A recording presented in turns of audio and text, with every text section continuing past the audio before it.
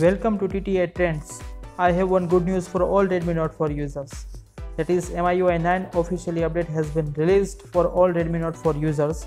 Keep in mind that to update your Redmi Note 4, no third-party apps are required.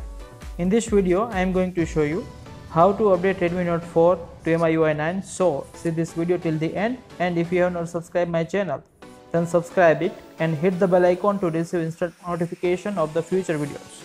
So let's get started. First of all go to settings. Then find about phone option. Scroll it. Here about phone option is there. Tap on it. Now you have to now there is a system update button at the bottom of the screen that is this is system update button and you have to tap on it to receive your updates let's tap on it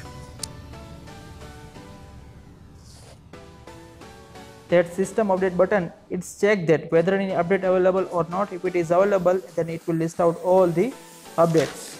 Yes there is update for MIUI 9 before going to update let's look at the new features that you will get after getting update to MIUI 9 that is MIUI 9 lighting fast highlights then system then app lock contacts messaging lock screen status bar notification related updates home screen related updates themes camera settings and etc all these updates you will get after getting update to your redmi note 4 to miui 9 but before update your phone battery must be charged more than 60% and do not interrupt your phone during the installation of your updates. Let's update it.